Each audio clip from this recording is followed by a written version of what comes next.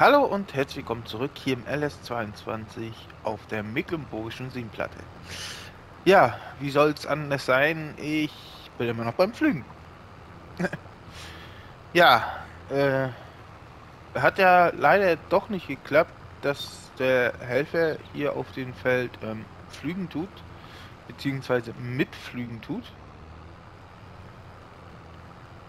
Ich wollte ja eigentlich dass der Helfer die eine Seite und dann ich die andere Seite so bearbeite, aber tja, das funktioniert äh, wieso, weshalb, weswegen auch immer nicht. Ne? Also heißt es ja, wir müssen das ganze Feld selber flügen. Was natürlich richtig zum ja, ist. Aber naja, bleibt uns halt nichts anderes über. Deswegen wird das sich auch noch ein bisschen ziehen mit dem Flügen. Ich werde natürlich sehr viel offline machen.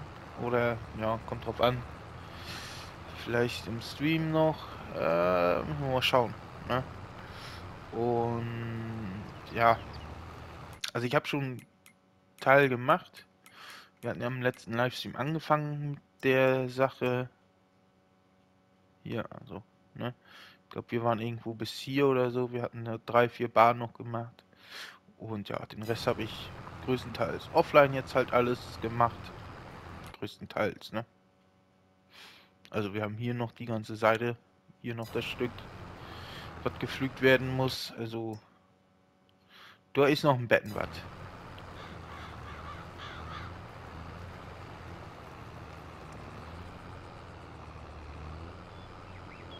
Ja, ansonsten ist gestern, gestern, das neue äh, Projekt gestartet, was ich äh, vorhatte auf der Mühlenkreis Mittelland.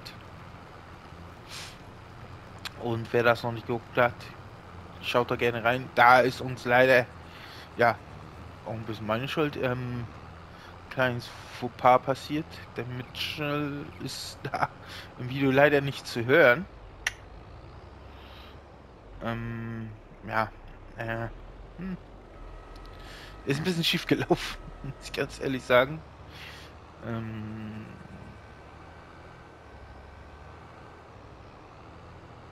ja, da müssen wir noch mal unbedingt was ändern.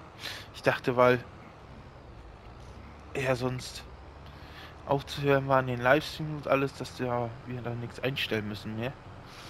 Aber ja, gut dem war dann nicht so der Fall.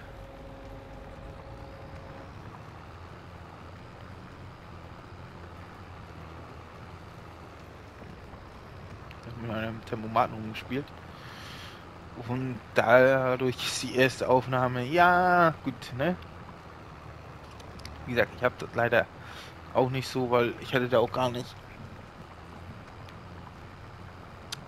ähm, dran gedacht gehabt, dass ich da noch mal reinhöre nach der Dings, nach der ersten Aufnahme. Ja, wie gesagt, ist Pech. Ist nun mal so, kann man nicht ändern. Ne? Aber ich hoffe, wie gesagt, die, die die Folge gestern schon geguckt haben, ich hoffe, euch hat es gefallen. Das, was man gehört hat, zumindest. Äh, ja.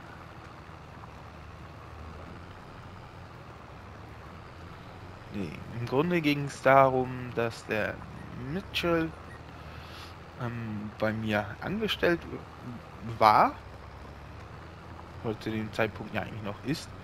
War, ist, ist, war. Und er sich halt einen neuen Hof gekauft oder einen eigenen Hof gekauft hat. Einen Schweinehof, glaube ich, war das ja. Schweinehof. Und ja, er sich halt den ab sofort um den Hof kümmern wird und nicht mehr bei mir arbeiten tut. Und so fängt die ganze Geschichte an da bei uns. Ne? Also jetzt nicht nicht wie man sonst kennt, oh, neu im Dorf und hier einen Hof übernommen und dies und das. Wollte ich diesmal nicht machen. Ich wollte es diesmal ein bisschen anders machen, dass man schon, was ich jahrelang an auf den Hof ist und halt Ne? Nicht, dass man immer. Es ist immer sonst überall das gleiche. Man. Wenn man. Äh, jemand, der jetzt auch so ein EP macht, keine Ahnung, jetzt äh, auf schnell fällt mir jetzt gerade keine ein, zum Beispiel Ansgar von Nordrhein TV Play oder äh, Burning Gamers von äh, Werner, die hatten ja im 19er auch so ein RP-Projekt, da sind die auch hingekommen, haben Hof übernommen und dies und das und ich, so wollte ich das diesmal nicht machen. Ne? Ich wollte, dass man da schon, ja, integrierter Bau ist, ein altgesessener und dass wir halt so anfangen, dass unser unser Angestellter uns halt, ja, ja, verlässt halt, ne? Sozusagen kündigt. Hat immer dieses Thermomatum gespielt, ne? Ich denke mal, das ist mal auch mal was, ja, Interessantes oder mal ein bisschen was anderes, wie gesagt, sonst hast du ja immer die, wenn, wenn du denn sowas machst, da kommst du hin, fängst du neu an oder, ne, wie gesagt, übernimmst den Hof oder wie auch immer. Ne? Und da diesmal ein bisschen anders. Wie gesagt, ich hoffe mal, dass es dann in der nächsten Aufnahmesession ähm, besser ist oder besser wird, halt, halt dass man auch Mitchell hört. Ähm, ich weiß jetzt gar nicht, ich habe da jetzt auch gar nicht reingeguckt bis jetzt. Ich hoffe mal, dass der Marcel vom LU zu hören war. Ansonsten liegt das an meinen Einstellungen. Eventuell.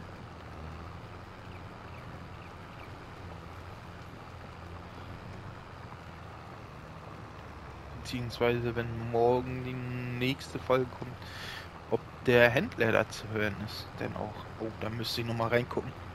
Vorher in, Aufnahmen, in die Aufnahme. Die habe ich ja noch. die liegen jetzt schon, die liegt ja, oder die Aufnahmen sind jetzt von einer Woche oder zwei, ne, einer Woche glaube ich. Letzte Woche Montag haben wir die aufgenommen. Oder Mittwoch oder so. Ich weiß es gar nicht. Irgendwann letzte Woche war das. Ah ne, Dienstag war das. Dienstag letzte Woche.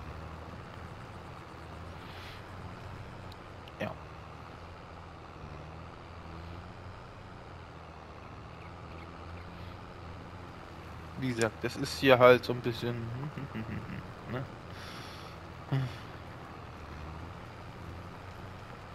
Ich habe danach eben keine Lust mehr auf Flügen, aber ich muss danach schon wieder flügen auf Feld 3 nachher.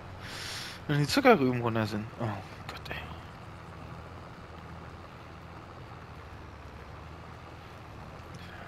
...500 PS habe ich auch nicht, ne? Sowas hier? 435. Was hat mein... 415 gerade mal. Ja, gut, okay. Das wird nichts. Ich was Größeres. Bräuchten wir einen 5000er Zerion.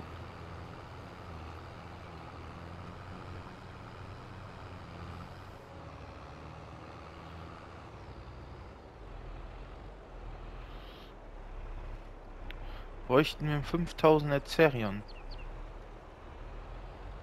Oh. Nochmal hier einmal.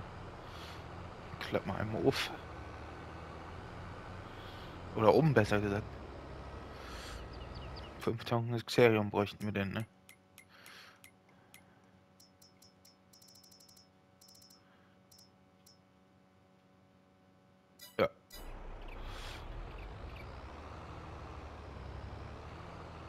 Ja, 4500er würde auch reichen. Aber nee, machen wir nicht.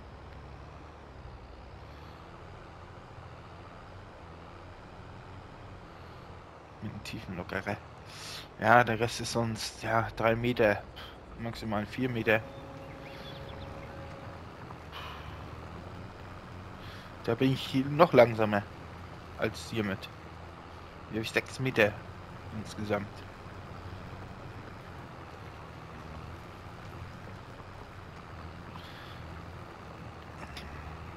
Und die, alle, und was es so im Modtab gibt an Tiefenlockern, ich finde die alle nicht so schön, die sehen alle nicht so dolle aus. Ne? Ich habe so das, die habe ich glaube ich hier jetzt gar nicht mehr mit drin. Ne, nee, habe ich auch nicht. Von L Dingsbums habe ich auch nicht mit drin. Ne? Aber die haben halt auch nur drei Meter, ne? Also eigentlich immer so ein bisschen nehmen für Fahrgasten auflockern. Wir denn hier Stoppelsturz machen, vorher Fahrgassen auflockern.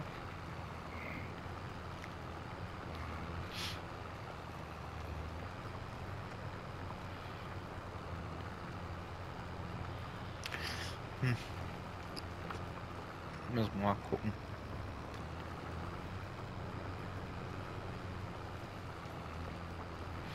Muss ich mal gucken. Aber wenn ja tiefen locker. Wenn, dann bräuchten die auch äh, so viel PS, ne? 415. Und äh, ja, stärkstes oder das stärkste Tracker 415 PS. Der Fendt, der hat der Class hier 410. Der 7R 388 glaube ich der 6R 300 oder 301. Kommt glaube ich der Case mit 270 und dann kommt der 900er Favorit mit 260.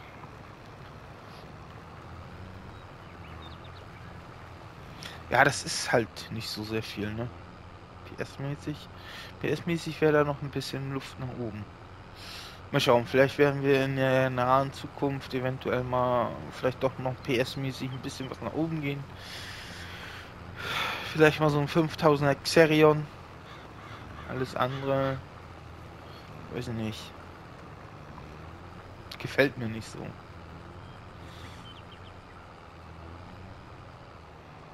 Vielleicht auch noch ein 1050er Fendt.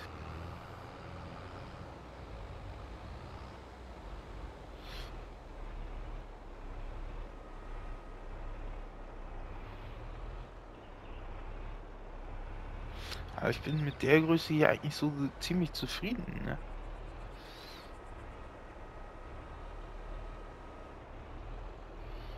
Gut, muss mal gucken. Na gut, wir haben noch andere Sachen, wo wir ein bisschen investieren müssen.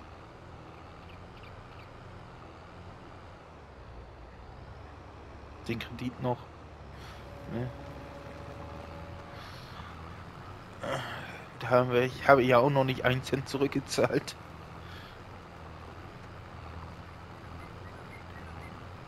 Naja, egal.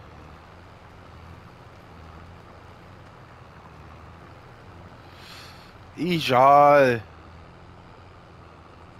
Ja, fleißig am Flügen. Ach ja, es nimmt und nimmt einfach kein Ende, ne?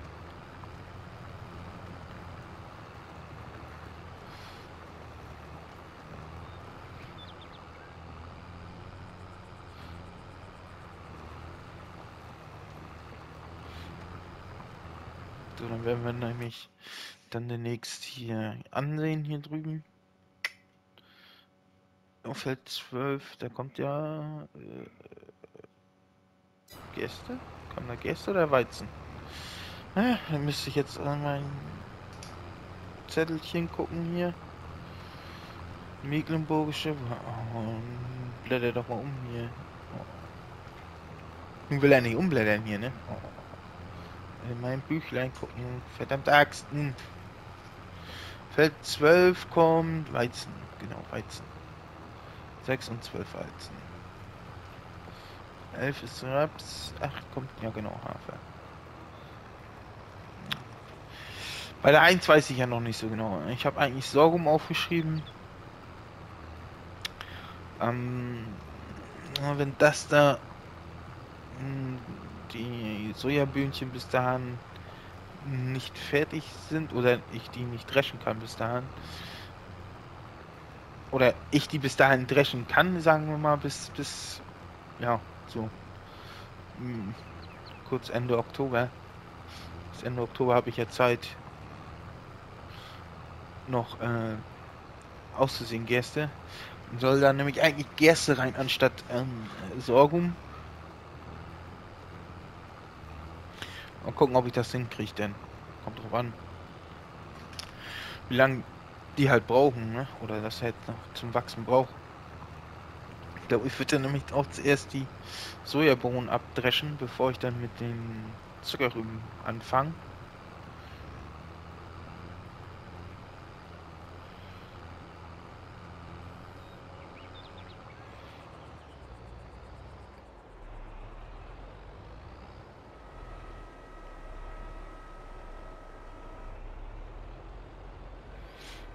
Aber da muss ich mich mal.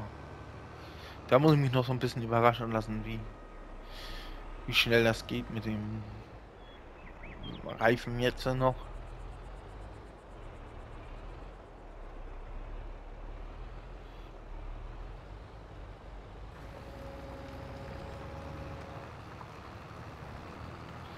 So, gut, meine Lieben, wir sind auch schon wieder äh, längst über die Zeit. Ne?